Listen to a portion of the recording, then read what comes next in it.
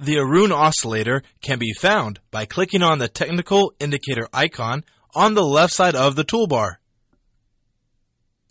The indicator template screen will appear on the right side of your screen. Select the oscillators folder,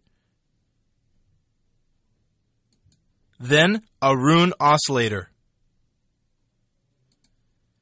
The default time period for the Aroon oscillator is 14.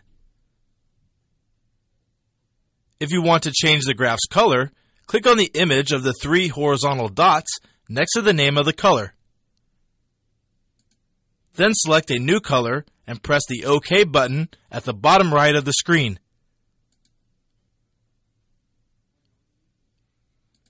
To add the chart to your graph, press the Add button.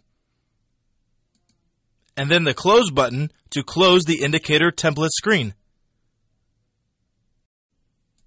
The Aroon oscillator is a trend following indicator that uses aspects of the Aroon indicator, such as Aroon up and Aroon down, to gauge the strength of a current trend and the likelihood that it will continue. The Aroon oscillator is calculated by subtracting Aroon down from Aroon up.